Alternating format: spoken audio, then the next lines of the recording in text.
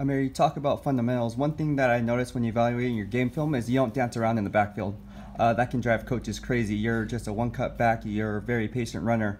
Do you think that's a competitive advantage in your game when you separate yourself from maybe some of these other running backs around the league?